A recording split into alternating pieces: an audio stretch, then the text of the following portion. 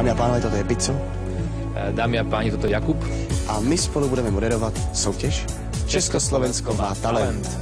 Já se těším na to, až uh, zjistíme, že nám to jde. A to príde čoskoro, tento pocit.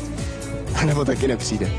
Vzhľadom na to, že toto je československý projekt, tak my sa asi zhodneme v tom, že Česi aj Slováci majú talent na diplomaciu.